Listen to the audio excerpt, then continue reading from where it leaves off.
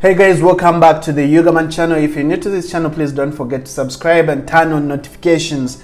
Now, the Saved by the Bell star Dustin Diamond, it was reported early this month that he was not feeling well. He had general body weakness and he decided to check out a hospital. So when he checked in, definitely a lot of things have been happening. The sad news is that he, is done with his first chemo and of course it was announced that Dustin Diamond has stage 4 small cell carcinoma. This is an advanced level stage of lung cancer, but the doctors have explained that Dustin's cancer started elsewhere and started spreading to his lungs. Now, TMZ has also put out a report, and this is what they said.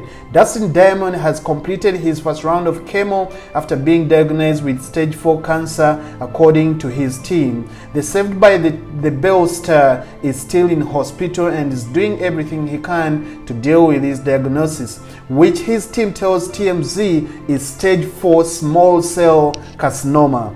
This is commonly referred to as advanced lung cancer, but in Dustin's case, we are told the cancer started elsewhere and started spreading to his lungs. His next round of chemo will be scheduled soon. His team says he will also begin physical therapy and adds that Dustin is keeping a positive outlook and is looking forward to spending more time with his girlfriend. We are told he is also enjoying playing his bass guitar, learning songs by Tool and Foo Fighters, and video games, of course, and making videos for his fans on social media. This story was broken earlier this month and definitely so many people were sending out their quick recoveries to Dustin before they actually got to know the news of what Dustin was struggling with. And now it is known that Dustin is struggling with cancer, stage 4, small cell carcinoma, and this is a major concern for him and his family. But definitely, Dustin is keeping strong and he's keeping um, in terms of his fans. They're sending him mails, and also the actor is saying that he will stand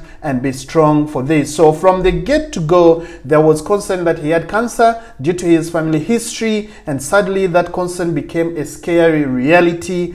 Dustin's team says he's been receiving a bunch of fan email wishing him well, and will be getting to this very soon to lift his spirits up. So, all we can say is that they Saved by the Bell star is going through a very, very tough time. But what we can say is get well, Dustin, and stand up and fight. Thanks for watching. Catch you again.